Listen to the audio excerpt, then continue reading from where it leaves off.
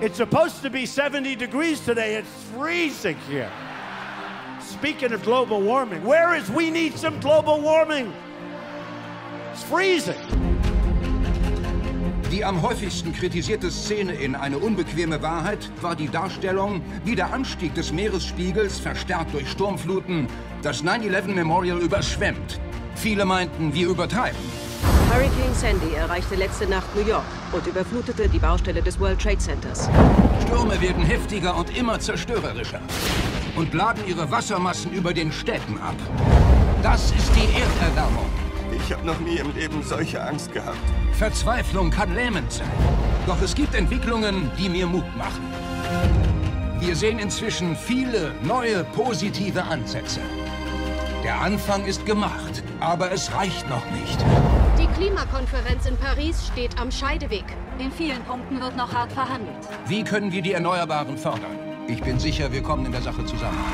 Praktisch jedes Land der Welt hat zugesagt, den Ausstoß der Treibhausgase auf Null zu reduzieren. Das ist beispiellos in der Geschichte. It's time to put America first. That includes a promise to cancel billions in climate change spending. Our plan will end the EPA.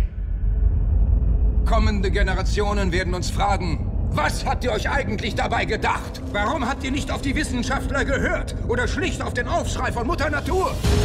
Diese Bewegung steht in der Tradition aller großen Bewegungen, welche die Menschheit vorangebracht haben.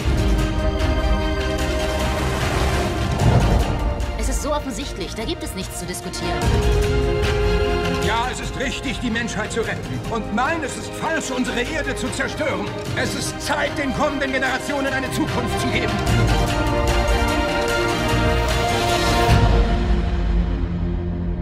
Und lasst euch nicht weismachen, wir können immer noch ein Raumschiff nehmen und auf dem Mars leben. Unsere Heimat ist hier.